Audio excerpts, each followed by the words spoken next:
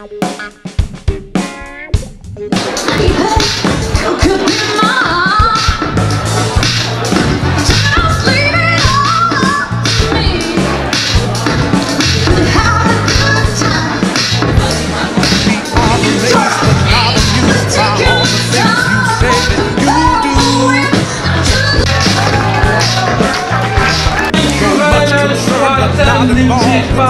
see you this week. And our Bush Benzema,